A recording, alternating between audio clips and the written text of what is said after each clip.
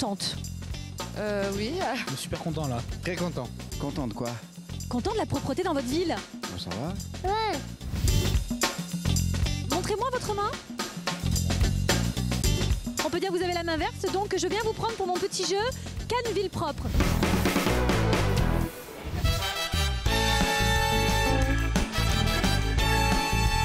D'après vous, combien de kilomètres de rues sont nettoyés chaque semaine à Cannes? Ouh, il va un bon paquet. Hein. 25 km 500. 80, 90, 100. Ça ressemble plutôt à un Nice-Brest au niveau des kilomètres. C'est énorme. 1300. 1300, c'est extraordinaire. Combien de tonnes sont récoltées chaque jour à Cannes? 40 tonnes. Allez, 30 tonnes.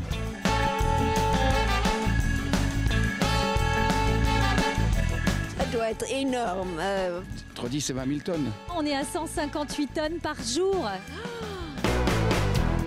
Tu trouves que la ville est propre, toi, à Cannes? Qu'est-ce qui porte chance? Seulement si on marche dedans. Ah, la De la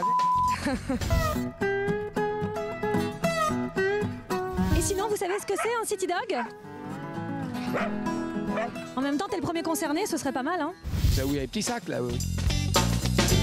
Je connais pas le nombre de containers ni le nombre de kilomètres, mais j'ai déjà repéré les City Dogs.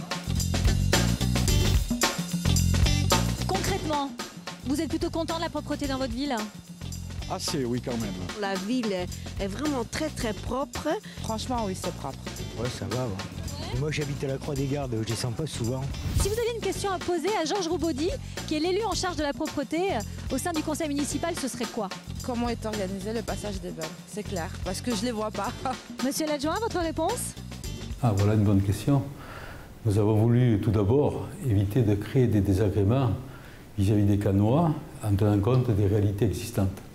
Donc nous faisons une première phase de ramassage à partir de 6h30 pour le centre-ville, de manière à libérer très rapidement les accès de la ville.